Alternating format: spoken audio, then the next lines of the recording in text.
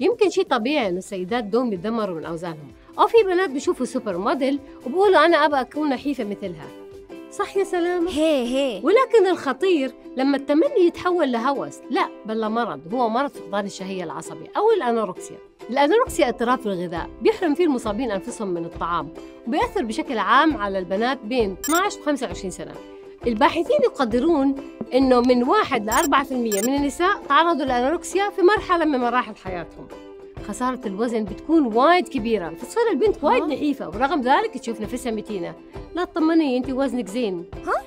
ونحافة الأنوركسيا مو من معايير الجمال لأن المصابات بالأنوركسيا يتساقط شعرهم يتكسر أظافرهم جلدهم يجف مناعتهم تضعف تركيزهم بخف ودوم بحسوا بالبرد وطبعا بيصابوا بالإكتئاب والإرهاق.